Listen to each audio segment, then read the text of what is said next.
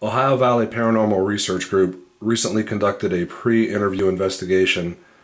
We record all these interviews to make sure we didn't miss any notes, um, never to capture anything, only for uh, documentation in the interview. But recently we did this interview and we captured an EVP.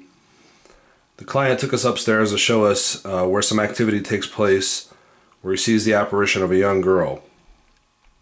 During our interview, we did have an interviewer see the apparition of the young girl, and as one of the interviewers went to take a picture into a crawl space attic, we realized that when we play the tape back, that the, the timing of her going to take the picture matches up exactly with the EVP. The EVP sounds like a hissy whisper, but when we uh, listen to it many times, we believe we can make out what it says. I'm going to play it a couple times.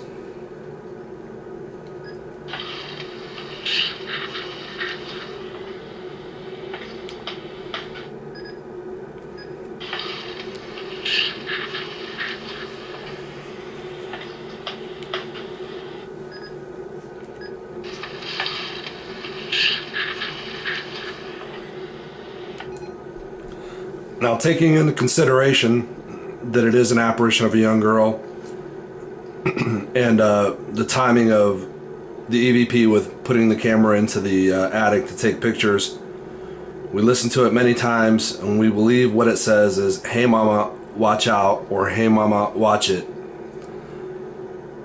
And I'm going to play it a couple more times.